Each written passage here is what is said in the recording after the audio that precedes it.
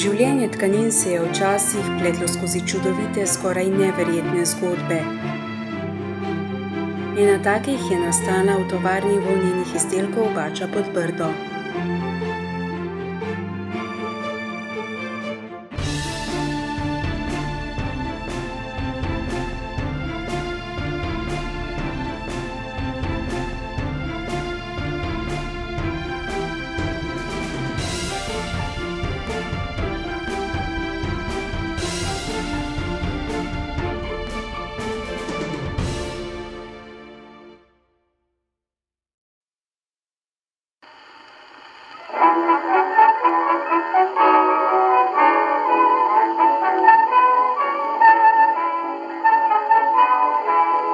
Petnajstega septembra tisoč devetsto sedeminštirideset je bila uveljavljena pariška mirovna pogodba z Italijo, ki je velik del Primorske vrnila takratni Jugoslaviji in s tem tudi Sloveniji.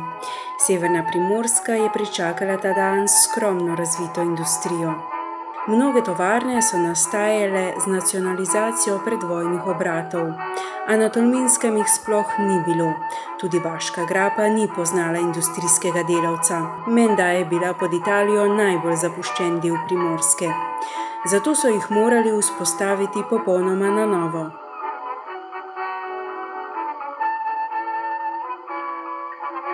V takratni občini Grahovo ob Bači je že leta tisoč devetsto štiriinpetdeset obstajala težnja po vzpostavitvi obrata lahke industrije.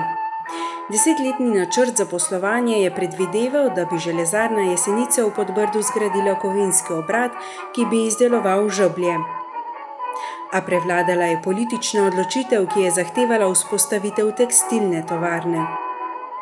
Opravičevali so jo z dejstvom, da ima Podbrdo ugodne pogoje, ki jih zahteva tehnološki postopek za izdelavo tkanin. Novembra leta tisoč devetsto štiriinpetdeset je okrajni ljudski odbor Tolmin že izdal nalog za adaptacijo opuščenih italijanskih vojašnic, čez dober mesec je sledila še ustanovitvena odločba, ki je zahtevala poskusni zagon predilnih naprav že čez slabega pol leta. To je tovarni s pomočjo projektantskega podjetja Slovenija Projekt tudi uspelo. Enaindvajsetega decembra tisoč devetsto petinpetdeset je bila tovarna, registrirana za izdelavo volnenih izdelkov, že konstituirana.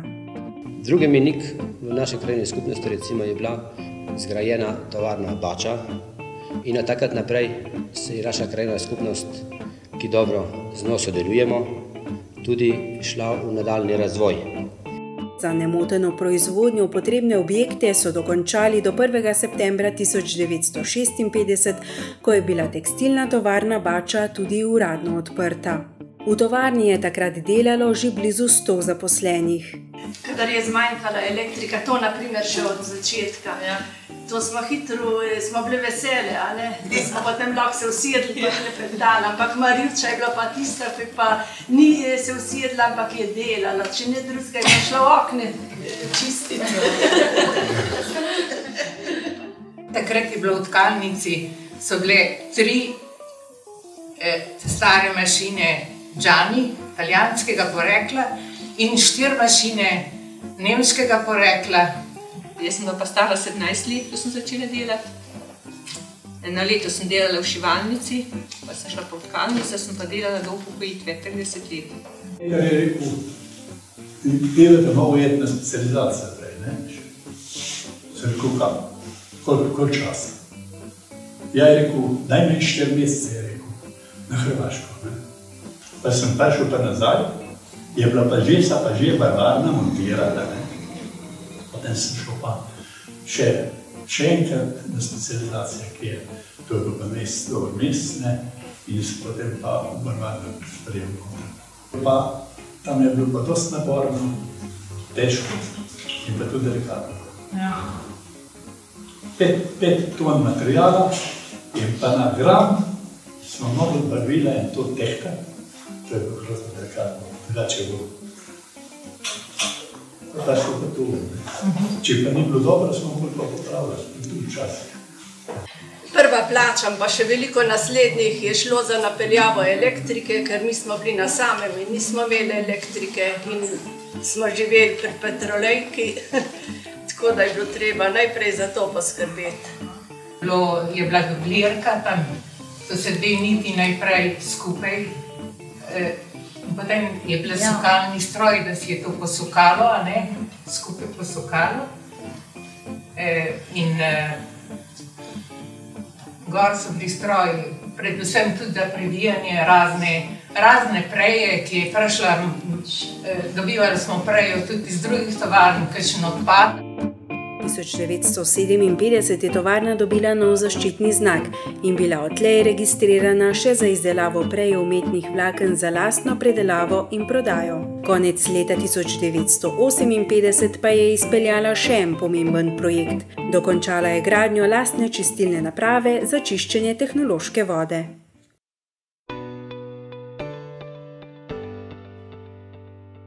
Tovarni Bači so pri zagonu proizvodnje pomagale druge slovenske tekstilne tovarne, ki so izobraževale bodoče tkalke ali pa so jim posodile svoje zaposlene kot inštruktorice in inštruktorje. Ja, najprej smo mogli eh, komade, komade so bili blago zvita v role in to je bilo težko, ne, kot so imeli, po 20-30 kg tudi bilo, ne, ja, odvisno ja. od metrov, pa koliko je bila debela blago, ne. Tudi to, to smo prevlekli vsaka na stran. Mizi smo odvile in potem smo vlekli čez uh, mizo in smo gledali napake, Ne, in uh, recimo mi, ki smo rešivalke, smo mogli šivati, mi smo se mogli na vas šivati. Je bilo treba, recimo je manjkala nitka po vodku ali pa po osnovi. In mi smo mogli obvladati vse, to smo v globinsko dobro videli. Pred delavke smo imeli tak kos blaga, kot je tole recimo, in smo par, ne dva meseca smo se učili samo vezavo. A ne različne, da smo pole lahko na komadu šivali. Ja, norma. Težka, nazdravljena svoj zvezek in smo pisali. No. Ja. Če ni bilo v redu narejeno, smo dobili nazaj. Obdobje rojevanja tovarne sta zaznamovala izredna delovna zagnanost in delovni zagon. Ženske so vozile samokolnice in se nasploh lotile vsega, kar jim je prišlo pod roke. Zadnjiško delati smo nosili kamne z bačevom. Tisto se je zla lepo bilo, ker se poskrbeli, da je bila okolica tako lepa. E, si imamo, ne vem, zdaj se nas spomnim, koliko mesecev si imamo delati, da si sploh hajle dobil. Tako da mi je ena daljna karica zdala ena stara hajle, e, da sem je dočakala, da sem jaz e, potem da svoja dobila. Tovarna se je zelo hitro uspenjala in po kakovosti blaga za moške in ženske obleke zaslovela po vsej državi. Izdelki so se kosali z izdelki velikih tekstilnih tovaren z več desetletno tradicijo. Vse tekstilne in modne tovarne, ki so takrat v Sloveniji bile, se pravi, v tem je bila tudi bača podvrdo, ampak ne imela jih svoje revije, eh, bile so pa obleke šivane iz tega blaga. Eh, glavni krojači so bili takrat v Muri, v Murski soboti, tam je največ moških konfekcij se izdelalo pa Novotex iz Novega mesta. Sem pa jaz še drugače povezan s tovarno Vlačat, ker moj oče je bil krojač in poznam dobro, da je on hvalil, da je rekel, da takega kangarna kot je podbrški ga ni na svetu. Ne? In tudi moja sestra je delala celo kariero v Baču. Usporedno je slovela tudi po lahkih volnenih športnih odejah lepih vzorcev in odlične kakovosti. Zainteresirane domačinke so doma na nje šivale okrasni trak, iz odpadnega materijala pa izdelovale copate in dersalke. Proizvodnja je slonila izključno na dobavi preje iz Italije, posledno pa še iz desetih tekstilnih tovaren, lociranih na Hrvaškem, v Srbiji in Makedoniji.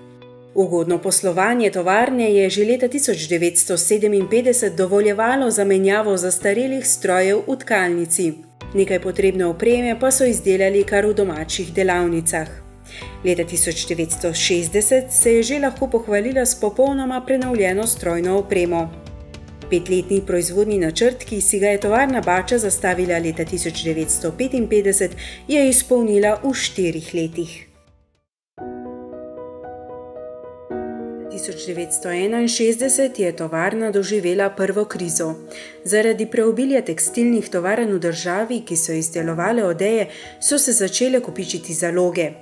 Zato je ukinila predilnico Mikane Preje in ob novem letu 1962 odpustila 32 članov kolektiva.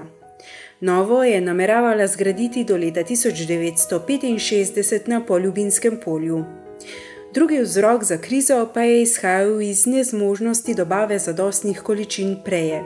Zato je bila primorana v svoj program uvajati tudi izdelke iz sintetičnih vlaken, kar se ji je zgodilo samo še leta 1982.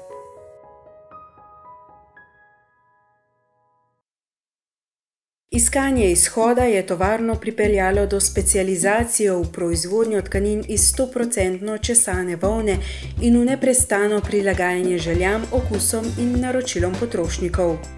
To ji je omogočila prilagodljivost barvarne, predilnice in tkalnice, predvsem pa vzorčnega oddelka. Tej usmeritvi je sledila do konca. Blago enakega vzorca za posameznega naročnika je izdelala največ do 2000 metrov, ene barve pa povprečno 500 metrov. Od leta 1972 je pripravljala dve kolekciji: pomlad poletje in jesen zima. Ta usmeritev je prinesla uspehe tudi na sejmih mode. Kot redna udeleženka sejma Moda v Ljubljani se je še posebej izkazala leta 1968 s prikazom najfinejših tkanin iz 100% česane volne v kar 80 vzorcih. Prvič so jo zares opazili tudi na spomladanskem in jesenskem velesejmu v Zagrebu. Je bila priprava in niste, niste imeli take grozne odgovornosti, recimo, ja, da smo imeli ja. tkalnici ja. za komade, ki vsaka napaka je bila kaznovana, predvsem od začetka, ne, to smo tudi kazne plačevali, eh, da napake v, v komadih. Ja, najprej so bili samo penali, se je reklo, napakam v blagu, a ne, to je šele kasneje so bile tudi nagrade za ja, ja. komade ja, brez ja. napake. Upoštevajoč novo zakonodajo in spremenjene razmere na trgu, je Bača pospešila širitev prodaje blaga tudi na zunanje trge. Med drugim smo bili mlade, računi smo se zaposlili, smo imeli 16 let. Vse pa nas je vedno vprašal, model 12, model 16, ja, glasila, pa je bilo rok za blago oddati. Je rekla mojstrica, a ste delali naprej, smo delali naprej. Pomankanje preje je onemogočilo doseg letnega plana proizvodnje, zato je sredi junija 1963 v tkalnici, šivalnici in aparaturi prvič uvedla nočno delo. V novi predilnici iz leta 1971 pa so kar štiri leta delali celo v štirih izmenah. Nočno delo žensk je tovarna postopoma odpravila do leta 1978. Takrat, eh, ko sem začela, ko sem začela delati, smo bile zelo mlade. No. Jaz sem začela, se nisem imela 16 let. E, zaslužka ni bilo, tako da skome čakal, da si dobil mesto v Bači. E, delala sem na tri izmene, šest dni smo delali vse sobote, šest dni po noč, popoldne zjutraj.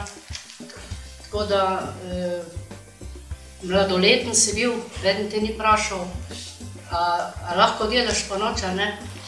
Pravzaprav takrat tudi pomislil nisi, eh, da si mladoletni, zato ker ni bilo denara, ni bilo, eh, ko sem ta prva plača dobila, eh, sem kupila pralni stroj, tata je mu mih na pokojnine nazaj. Ker prodaja preko uvozno-izvoznih podjetij Bači ni prinesla zadovoljivih rezultatov, se je odločila za direkten pristop do kupcev v tujini. Že konec leta 1965, intenzivneje pa leto kasneje, začela plodno sodelovanje s tovarnami v zahodnji Nemčiji. In potem z teh barv pa je bilo treba ponavadi nekaj novih na, uh, pripraviti, se je potem naredilo kolekcijo. To je bilo moje delo, v nadaljevanju pa seveda, da je nastala tkanina, da je nastalo to, recimo, to, ti vzorčki. Je bilo treba pa skozi celotno proizvodnjo. Vse, treba je bilo barve, treba je bilo barvati prejo, naslovati, odtkati, obdelati. Proizvodni prostori so postajali premajhni, zato se je tovarna po letu 1960 začela širiti. Za 17 metrov je podaljšala glavno poslopje, kjer sta bili tkalnica in pripravljalnica. V medvojni italijanski vojašnici v podbrdu v Vinkelcu pa je vzpostavila skladišče volne in preje. 16. januarja 1962 je v Podbrdu odprla prodajalno tekstilnega blaga lastne proizvodnje. Leta 1964 je v Tolminu odprla oddelek iz šivalnice. Leta 1962 je bila tovarna volnenih izdelkov Vača največji industrijski objekt v Tolminski občini. Aha. Železne so ti se tako šlo okrog. Uh -huh, uh -huh. Dol, Mhm. tukaj noter, le dol in tako stala luknjica. Aha, in pa ste nit, kje ste nitko ven? Aha, nitka je bila na tem. Nitka je letela spomno na Vitovor, eh, kangarna, ne. Aha. Jaz sem bila malo navihana, no tako, eh, dobro navihana. Dobro, Bila navihana. namerno. Včasih sem kaj še navšpičila, ne, a sem ki zašila, a sem ki zamenjala, sem, ne vem, pa se rekne. Eh, Dolgo nisem mogla ugotoviti, kdo je to delal, ne. Pa nekaj sem ugotovila, pa se rekne, aha, že spet je bila Jožica. Pravi napredek in nov zagon pa je tovarna doživela med letoma 1967 in 1975. Dobri poslovni rezultati ter želja po rasti in napredku so jo spodbudili k drastičnemu povečanju vlaganj v modernizacijo in razširitev proizvodnje ter utemeljito rekonstrukcijo in dograditev novih proizvodnih prostorov. Potrebam tovarne so zaradi dobre prodaje prisluhnile tudi banke. Na predilni stroj smo dobili eh, vredena iz flyerja, to je bilo pred preja. Šlo je 250 vreden in to je šlo tako. Tale vredeno iz flyerja je bila od zgoraj in se je napeljala čez en drog, dol na eh, predilni stroj, se je odprlo raztezalo, se je skozi dva vodila napeljalo dol po dveh veljah, treh, štirih, ne vem, in so bile od spodaj cevke, ki so vlekle zrak. In tole raztezalo se je zaprlo, in potem smo pa mi s kolenom zavoro pritisnili, da se je vreteno ustavilo, in od spodaj na navitku poiskali nitko, ta tanko že napredeno, in smo jo eh, skozi spet eno vodilo napeljali gor. In tisto leteno, eh, tisto pred, prejo, ko je vleklo v tisto zračno cevko, smo mi eh, dotaknili stavno, ko smo jo od spod gor potegnili in tako se je nitka uštukala. Delovni uspehi so se kar vrstili. Leta 1968 so kupili 12 najsodobnejših novih brezčovničnih tkalskih strojev, sulzerjev in preuredili in modernizirali prostore, v katere so jih postavili. Leta 1969 so pretežno s prostovoljnim delom zgradili skladišče volne in preje. Leto kasneje so končno dobili najbolj potrebno pridobitev - lastno predilnico česane preje in jo v celoti opremili s stroji ameriške firme Roberts. V njej je našlo delo 30 novih delavk, med katerimi so nekatere prišle celo iz Banja Luke. Sledila je izgradnja prizidka k barvarni ter nabava nove barvarne in oplemenitilnice za volilni česanec španske firme Moline. Leta 1971 so zgradili novo kotlarno in transformatorsko postajo, postavili so nov most prek reke Bače in prišli na kurjenje z mazutom. Posodobili in preuredili so tudi vodovodno napeljavo ter s podpornim zidom utrdili strugo reke Bače pod predilnico. Sledil je še dodaten nakup sulzerjevih tkalskih strojev in popolna opustitev zastarelih naprav znamke Švabe. Delala sem na švabah, takrat smo imeli dva stroja, ko so prišli pa sulcari, smo jih imeli pa po šest. Sulcari so bili odlični stroji. Če je bil material, to je šlo zelo dobro. Včasih je bil pa tudi brez materiala, da je bilo pa tudi malo težje. Ampak tudi kvarili se niso, ker švabi so se kvarili kar naprej. V prostore izpraznjene tkalnice so leta 1973 preselili Tolminsko izšivalnico, Naslednje leto pa dogradili novo tkalnico, kar je bila največja investicija doslej. Res. Tudi če smo mala Zaljubljene, mlade, ma. Tudi če je mala padla glava, je bil šef tako strog, da si hitro del gor, ja, ja. pa delal naprej. Išla je šefica. In nobene škode nismo nobene škode. Samo, da je bilo samo, smešno. Samo, da je bilo smešno. Mi smo se da smejali, no, kaj? Ja. Ta motivacija. Ja. To je bilo nam. Ko smo bili, ko so bili noter komadi, blago, ne gor čez mizo in tako. In pole tista, ki je prišla včasih zjutraj, prva noter. Hitro je prevrnila en stol, stolica, ne? In je dala čez blago in tiste dve noge, ki sta bile ven, je dala gor kešne čevlje. In je izgledalo, kot da eden leži v tistem blagu. Ja. Osemletno modernizacijo obratov je tovarna izvedla med rednim obratovanjem, ne da bi za en sam dan ustavila proizvodnjo.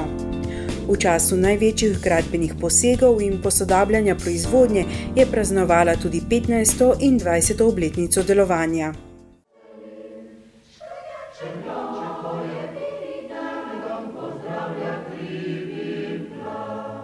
Leta 1971 je kolektiv prvič uspel dati na trg kar 500 tisoč metrov najbolj kvalitetnih kangarnov.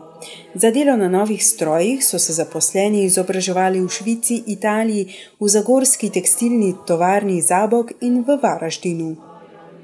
Tkalka Marija Wolf je velike spremembe in napredek v proizvodnji takole opisala. Ko sem stopila v delovno razmerje, smo imeli v tkalnici le sedem starih strojev, tedaj sem na šiht stkala komaj deset metrov blaga. Težko si je zamišljati danes, kako je bilo to v tistih časih mogoče. Bilo je težko in naporno. Material je bil slabe kakovosti, preja se je stalno trgala. Domov sem hodila utrujena, danes je popolnoma drugače. Delam kar za tremi tkalskimi stroji, z mnogo manjšimi napori stkem v šihtu 150 metrov blaga. Septembra 1982 je potekalo drugo tekmovanje predilcev volne Jugoslavije. Na tem tekmovanju je sodelovala tudi Bača. Šli smo štiri tekmovalke, dva mojstra oziroma šefa in peljali smo se z osebnimi avtomobili. Tam so nas pričakali in smo eh, naredili skupinsko sliko. In, uh, no, in smo čakali od zunaj, da smo prišli na vrsto. Bilo je, eh, je bil predeljni stroj, vsaka predica je imela 50 vreten za poštukat in eh, vse napeljati in poštukat. Eh, in, tako da mi smo se zelo dobro odrezali, ker na tem drugem tekmovanju mi nismo imeli nobenih predpriprav. Smo šli kar tekmovati.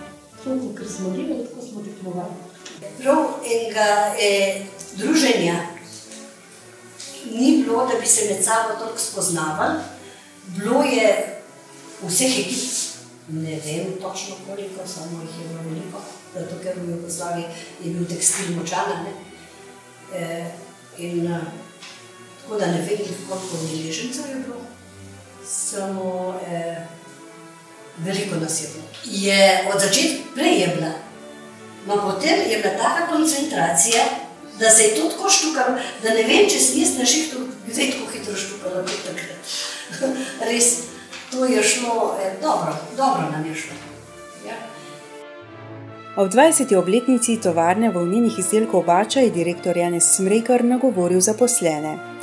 Ponosni smo, da smo v 20 letih zgradili in opremili podjetje tako, kakršnega danes imamo. Ponosni smo na svojo predilnico, na novo tkalnico, na barvarno, na novo restauracijo in še na kaj.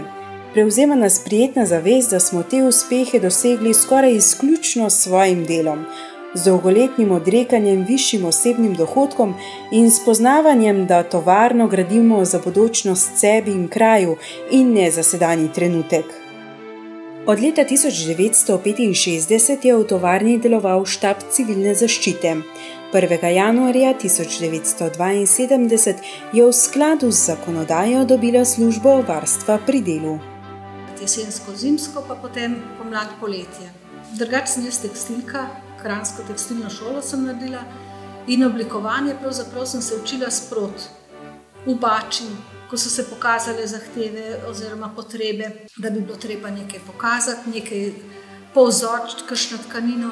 In postopoma sem se naučila, všeč mi je bilo, uh, skozi le več vidiš, ker na tak način vezan si to na. Uh, Možeš veliko stvari videti, da lahko ustvariš nekaj novega, ne gre kar, kar brez. Tako da to je ta prav moj del oblikovanja. Vse drugače, potem skozi proizvodno je vse sort težav nastane, zato ker podjetje je bilo majhno in ta nismo imeli posebno linijo za vzorčenje. Potem je izziv z tega nekaj ustvariti. Tako da to mi je bilo res lepo. In sem, mislim, da to pokažem. Sem si na različne načine nabrala fotografije, ne si bo, da sem kupila kakšne revije, ali pa tudi, recimo, tudi moje fotografije so bile vmes, ker sem vedela, da so zajete tiste barve, ki sem jih videla na sejmu, tu, tam. In potem sem imela take pre, predložke, sem si naredila za celotno, za celotno kolekcijo. Še par ni bil, dol, dol sem zdala, sem bil, bil tedenski set, bači, ne? In tam na delski setu se odločil, glavno je direktor odločil, ne? Prav, mora biti, moški mora biti taki pa taki, ne, primerne, da niso preširoke, tule, ne? In pa ženski tudi, ne? Tako da so dva taki ljudje, ko so primerne, ne? Štir moški in štir ženski, ne? In potem smo šli, ne? To smo pa tako, ker smo pa delali za lovske obleke v Bači, ne? Hangar, ne? In smo tudi se rekli, da ta hangar moramo, to se pravi, Bača je bila tako malo v stiski, ne? Zato smo pa mi delali za njih, ampak ne samo za Bača, ampak tudi za celo Slovenijo, ne? Za lovske obleke, ne? In potem smo šli, jaz pa, so vse moje, ne? Smo še gor na Sorško planino, in pa dve punci se ne znam tudi, Štefani se naslika tudi gor in to se potem objavilo še so pisali in v raznih drugih revijah tole, ne, da, sem, da smo potem mi ogromno tega materijala eh, delali za, za slovenski lovce. Ne. V Bači smo imeli veliko pomanjkanih delavcev in je veliko ljudi hodilo tudi iz republike. In ko je Zoran prišel, je prišel delati v suho aperturo, In tam so delavci vložili iz enega stroja na drugi, največ je bil na strižnem stroju, obladati. Druge stroje, kot je likanje, dekatiranje, parjenje, parjenje in vse te stvari. Vsak je mogel vse znati. Tole je sukalni stroj. Uh -huh. e, te špule smo dobili z dvojilnega stroja, ki je potem šel na sukanje. To so dve nitki skupaj. In smo morali napeljati skozi vse te haklice dol in do spodaj, in tle so bile pa vrtene, se je sukalo gor in dol. So bile take podolgovate, dolge špule. In eh, vozle, ko je bil pretrg, smo vozle eh, na eh, To, to je bilo tako, kako, ja, tako stopalo, smo s koleno pritisnili, ja, da se je vrteno ustavilo. In na to smo naredili patkalski vozu in spustili spet, da je zalofalo.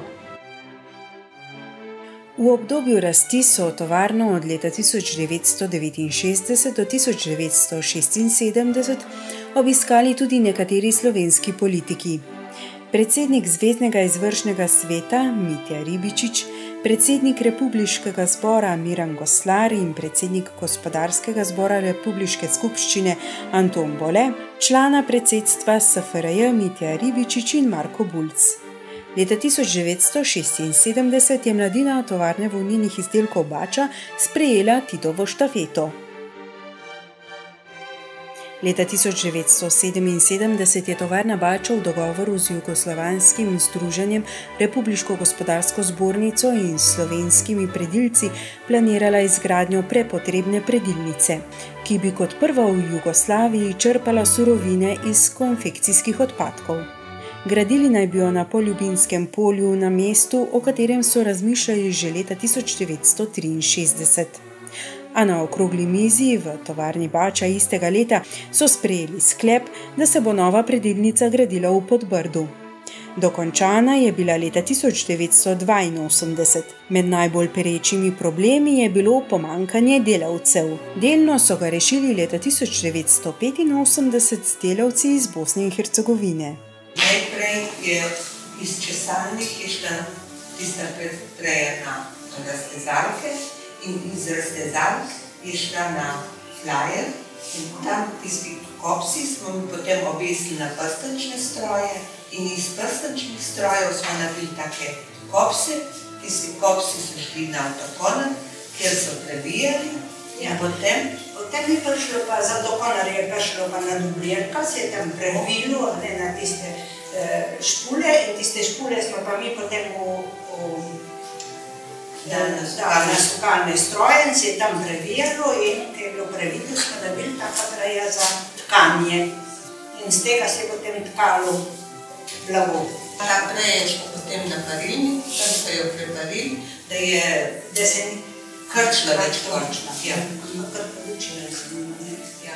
In edini problem je bil, da so nam delavci v Bači posebno koncu zelo manjkali in je bilo zelo težko, ker je bilo premalo delavcev. Tovarna je v zadnjem desetletju pred osamosvojitvijo Slovenije dobro poslovala. Prodaja je dobro tekla, saj so bili artikli za zimsko sezono prodani že spomladi, razvijali pa so tudi nove produkte. Ta blago se je tkala za stevardese, za obleke. Bi samo rekel to, ko smo delali tega živca, malo je pa bilo to zahtevno. Se spomnite, da smo, da smo delali po 12 ur, ko, se, ko smo strigli, strigli 12, 12 metrov na minuto, ne? smo delali kar dva meseca. In pole so nam rekli, znači, da ladja bo prišla po blago ne? in da smo takrat mogli delati po 12 ur. Se spomnim, da sem delal od 6 do 6 zjutraj. Včasih so bili taki artikli, ki se zahtevali več dela in rokovno je bilo treba to hitro narediti. In je bilo pač treba iti tudi v, v izmeno 12-12. V letih 1990 do 1995 je tovarna z velikimi težavami uspela prebroditi krizo zaradi izgube jugoslovanskega trga, zlasti srpskega. Leta 1990 je dosegla razmerje 60 proti 40 v korist izvoza. Leta 1995 je ta zajemal 80 do 90 odstotkov proizvodnje. V letu 1995 je eden izmed pritokov Bače iz smeri Porezna zalil vse stroje v tkalnici in povzročil veliko škodo, ki je tovarni zadala globoko rano. Voda je namreč uničila tudi zalogo blaga, pripravljenega za izvoz. Kot smo že dejali, najhujše je bilo v tovarni Bača v Podbrdu, sicer pa več o neurju samem in o posledicah v tovarni, direktor Bače, gospod Marjan Rejec. Ja, danes je natanko en teden od tega, kar se je v tovarni zgodila ta velika nesreča. E, poznano je, da so bile tega dne izjemno e, velike padavine na področju Porezna. Leta 1998 je tovarna Bača pridobila certifikat kakovosti ISO 9001. Tega leta je proizvajala 100-odstotno česano prejo in 100-odstotno česane volnene tkanine in česane tkanine na osnovi mešanic volne in drugih kvalitetnih vlaken, kašmirja, mohajra, bombaža in naravne svile. Čeprav so izdelki glede na kvaliteto ugrajene preje sodili v višji kvalitetni razred, tovarna Bača zaradi zastarele opreme ni dosegala cen konkurenčnih podjetij v Evropi. Pomankanje kapitala ji je onemogočilo nakupe modernejše tehnološke opreme. Na prelomu stoletja je kriza v tekstilni industriji zajela tudi tovarno volnenih izdelkov Bača. In ni šlo, in ko smo prišli do konca. Tekstil se iz Evrope seli v Indijo, Kitajsko, Bangladeš, čeprav danes Japonska tudi. Čeprav danes je kitajski tekstil izredno priznan, so v kvaliteti izredno visoki in imajo proizvodnjo tekstilnih strojev izredno na vse načine so kopirali stroje, da so prišli v visoko kvaliteto. Leta 2002 so se delavci odločili za stečaj dotlej edine tovarne v gornjem delu Baške grape, ki je v najboljših časih preživljala najmanj 150 družin. Poslovno okolje se je v času delovanja tovarne neprestano spreminjalo. Bili so časi, ko so bila možna velika vlaganja v razvoj, bila pa so tudi obdobja, ko je bilo treba na vseh področjih vlagati ogromno napora za preživetje. Nažalost so prišli tudi časi, ko ni bilo več pogojev, da bi omogočili nadaljne delo. Volnarska podjetja so se ustavila in med njimi tudi Bača. Tovarna volnenih izdelkov Bača je hodila v štiric z najboljšimi. Leta 1960 je bila po proizvodnji kangarna za moške obleke že tretja v Jugoslaviji. Leta 1973 je bila prva v volnarski industriji Slovenije po akumulaciji na zaposlenega in po skupni akumulaciji. Prav tako je bila prva v občini Tolmin po akumulaciji celotnega občinskega gospodarstva. Leta 1983 je bila tovarna eden največjih izvoznikov v občini Tolmin, leta 1985 pa je bila po poslovnem uspehu med najboljšimi med slovenskimi volnarji. Leta 1975 je bilo skoraj 92 odstotkov zaposlenih iz Baške grape. Ob njenem izteku je bilo vseh zaposlenih 150, skoraj 86 odstotkov jih je bilo iz Baške grape, od tega 75 odstotkov žensk.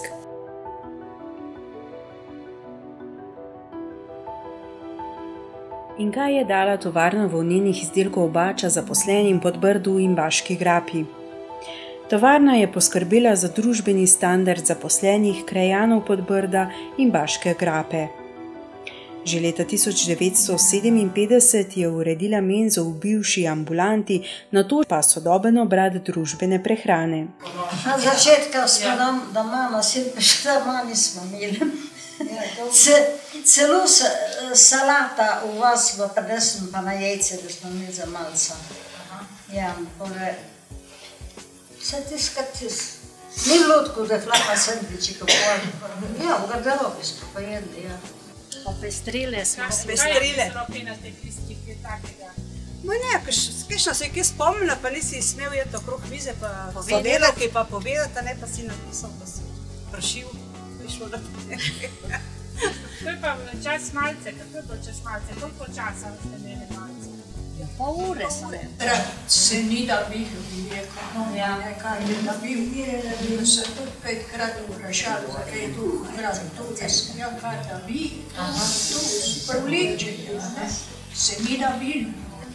Eden je rekel, če me nestrane krambirijo, ne bo krambirijo, če je fažolo, pa fažolo. Ne pa vseeno, jaz sem ja tukaj hodnik, pa ne. Na relaciji Tolmin pod Brdo Tolmin je uredila in sofinancirala prevoz na delo z avtobusi, sofinancirala je tudi prevoz na delo z vlakom. Sama smo tudi hodili piše, ne, z našega šihta vsaka jutra. Tudi zjutraj. Ja. In tudi spopoldanskega. Potem, eh, zdaj, če je bil sedež, sem zadremala po avtobusu, če pa ni bilo sedeža, smo se pa držali za, za sedež od drugega tiska je sedel, pa sem stoje spala, pa je bil kakšen ovenk, pa smo, se- pa smo se premaknili naprej ali pa nazaj. Ja, cesta je bila verjetno... Cesta je bila slaba. Nekaj smo prispevali delavci, vozači, za, za prevoz ostale pa vse tovarna bača kriva. Ja, skaj, pol petih smo mogli ostati, 26 je prišel Ja. avtobus pod Brdo, ob šestih smo mogli biti na delovnem mestu. Avtobus je bil natrpan do zadnjega kotička, kot sardine, kot sardine smo Ja, stali. premakrt nismo. Po štirih v podvrdo z vlakom je nam prometnik pustil, da smo šli ležati not na klopi v notrovne, na pisarna, ki je bil. Tako da je nas pol še poklical, da smo šli na. Ste bili tako tesno na avtobusu, se je pa tudi kakšna ljubezen verjetno prej užgala. Ja, se je. se je. Jaz sem dobila moža na avtobusu. No, to je bil pa moj šesti čut, nisem vedela iz tega. Ja, rado bil s tem. Aha. In potem, ko se je že malo unelo, ne mi je pa zmerjal to eh, sedež držal od zadnjih. Ni bilo treba stati. Gradila je stanovanje in z dodelitvijo kreditov spodbujala individualno stanovansko gradnjo. Že od leta 1960 je podpirala in štipendirala mlade kadre in izredni študij zaposlenih ter vajeniške programe za razne poklice. Jaz sem bila pač eh, štipendist Bače. Eh, Sem takrat naredila tekstilno šolo, delala pa sem pač v pisarni, ki je bila vezana na proizvodnjo. V juniju 1975 je ob izdatnem prostovoljnem delu zaposlenih in krajanov zgradila novo ambulanto. S sofinanciranjem gradnje otroškega vrtca je pomagala pri reševanju perečega problema otroškega varstva. Jaz sem bila sprejeta v tkalnico, me je učila Štefka Skuka. Ona je bila eh, takrat noseča in je do konca delala nočno izmeno, da je čim več dni imela na porodniški, takrat je bilo samo 105 dni. Če si 28 dni si prej koristil, ostalo je bilo, eh, zdaj, če si do konca delal, če nisi, mislim, pridobil si, a ne, če si ima ven cajta delo. E, tako da smo bili s Štefko obe v prekršku. Jaz sem mladoletna, ona noseča. Tako sem pa jaz eh, mogla biti, ker nisem imela varstva, sem bila deset let doma. Zaposlenim in družinskim članom je od leta 1961 omogočala preživljanje dopusta v počitniških kapacitetah v Novigradu. Spodbujala je sodelovanje zaposlenih na sindikalnih športnih igrah, na zimskih igrah tkalskih delavcev Jugoslavije, na tekmovanjih v predenju, rekreacijo zaposlenih, organizirala je večdnevne izlete, novoletna druženja, detka mraza za otroke zaposlenih, obdaritev žensk ob 8. marcu. Pa Maklovš je hodil. Vsaka jutra, ko smo prišli na šit, je so dobile punce na vdevanju Maklovža. Kaj pa prinesel Maklovž? Kakšno suha sadje, ki tako, od začetka, ne? Ja. Podeljevala je jubilejne nagrade za 10, 20 in 30 let skupne delovne dobe ter priznanja, plakete in uro za pripadnost tovarni volnenih izdelkov Bača. Med njimi so bili celo dobitniki medalje dela, to je odlikovanje SFRJ za izredne uspehe pri delu. Od leta 1964 je skrbela za informiranje zaposlenih z izdajanjem tovarniškega glasila. Sprva je bilo ciklostirano, v letih 1971 do 1975 je izhajalo v tiskani obliki, na to pa prek informacijskih listov. Kar sem bila jaz, mislim, da je bilo to tudi zelo povedano na zboru delavcev, mislim, in stanje, delovanje tovarne, pa uspehi ali problemi. Plače so bile obrešene na glasni deski. Ja. Dokler je bilo ena, dva. Potem, ko se je pa višalo, na vrh se je višalo, smo se začeli pa preveč razburjati, pa ni bilo več tistih. Zgledno je sodelovala z vsemi krajevnimi skupnostmi, odkuder so prihajali zaposleni, zlasti pa s krajevno skupnost Podbrdo v povezavi z nakupom kinoprojektorja, obnovo kinodvorane, vzpostavitvijo knjižnice, asfaltiranja ceste, postavitvijo TV oddajnika ter gostinskega objekta. Podpirala je lokalna društva, prostovoljno gasilsko društvo Podbrdo, mešani pevski zbor Bača Podbrdo, Oktet Bača Podbrdo, planinsko društvo Podbrdo, športno društvo Bača Podbrdo in zgledno sodelovalo z osnovno šolo Simona Kosa Podbrdo. Glej, kak mimo gre, še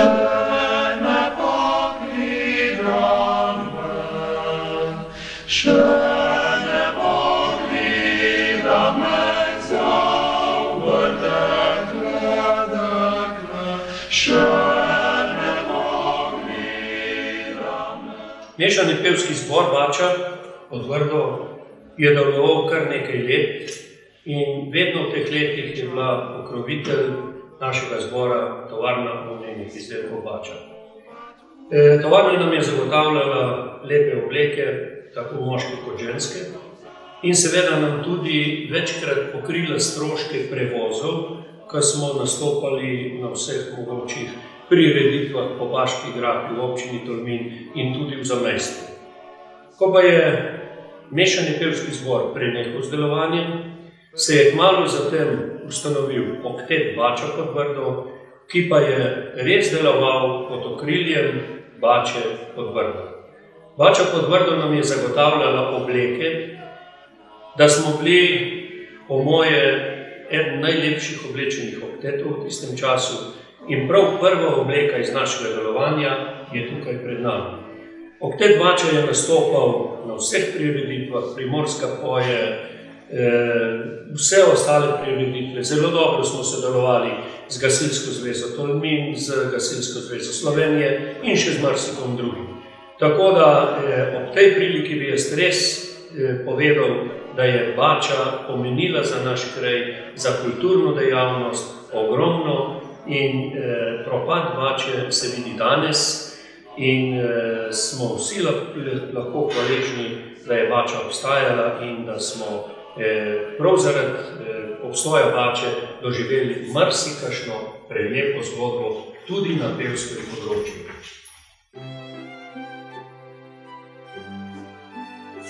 Neke, neka minimalna sredstva in tale B na našem logotipu nam je pač malo odpiral vrata, da je tovarna Bača primaknila kakšen dinarček te trenerke, nam je brezplačno sponzorirala Bača.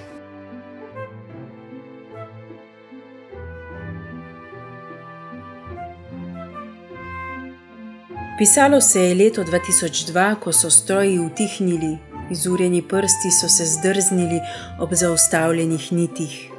Med božanjem blaga so obnemele dlani. Šele ko sem imela to na mizi, ko sem pripravljala, kaj, kaj bi lahko pokazala, sem videla, da imam pravzaprav v pripravi, imela kolekcijo za jesen zimo 2002-2003, takrat pa v bistvu podjetja ni več bilo. Naj bo vse zapisano spomin na leta, ko so bile hale z ropotajočimi stroji prebivalcem Baške grape in bližnje okolice drugi dom. Spomin na delovno zagnanost, velike napore, garaško delo, samo odpovedovanja in hkrati tudi na velik napredek. Pod Brdo, nekdaj majhen kraj brez industrije, se je tudi po zaslugi tovarne volnenih izdelkov Bača povzpel tako visoko, da je postal znan doma in po svetu. Zvečer, zvečer, kaj je bilo zvečer ob četrtkih. Ja, so fantje hodila. Smo se rekli, pri nas so prišli fantje po vas, po vasi. Včasih nismo rekli randi, a ne. In pridemo to ven ob desetih, to je bilo sigurno šest, sedem fičkatov in en 850. Ja, pa smo se pa tle noti in skoraj porod doživele, smrt, ja, ja, vse se so. Poudariti moram, da pod Brdo ni imelo v volnarstvu nobene tradicije, kot so imele številne druge tovarne. Toda v tovarni so se izoblikovali izvrstni volnari, ki so bili uspešni v zahtevnem konkurenčnem okolju. Škoda, da je zaradi propada panoge ogromno znanja šlo v nič. Danes je kot identitetni zapis shranjena v njihovih srcih in zavesti, v naši družbi pa preko fotografij in zbranih materialnih ostankov pušča sled kot neprecenljiva industrijska tekstilna dediščina. E, zelo lepo je bilo, zelo smo se razumeli. ne. Ja, e, na deset, deset let na knjež. Sama jaz bi kar ljubača prišla nazaj. Tistih letih, no, Ne, ma jaz sem vedel za utrujenost. Tako smo se pa smejali včasih, da Ja. da s komaj da sape prišel, res. Ja, lepo je bilo, no. Res je lepo. Zdaj pa, ko grem mimo, sem pa žalostna, da skozi vidim tiste podrtije, nam, ki je bilo enkrat koliko.